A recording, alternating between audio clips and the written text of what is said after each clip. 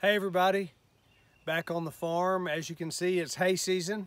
This hay field behind me shows you that people are cutting hay all over the place and we're cutting it at Triple L Ranch. We're glad to be back after a brief hiatus from being on the farm. We got a lot of good things done last week.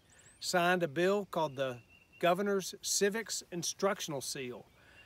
It makes sure that we recognize those schools across Tennessee that are teaching kids history and civics, reminding our children what has made this state great and what's made America great.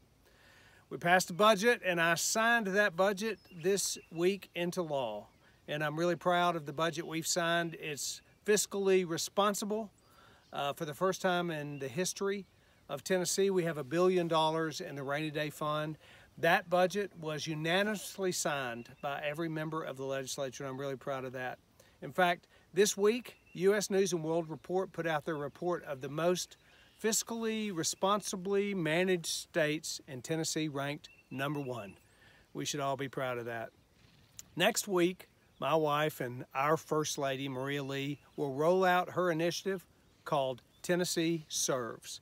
It's her belief that Tennesseans all across this state should be serving, and she has a vision particularly for the distressed counties in this Tennessee that I think will be a game changer for us. I'm proud to be with her and a part of that as we announce it next week.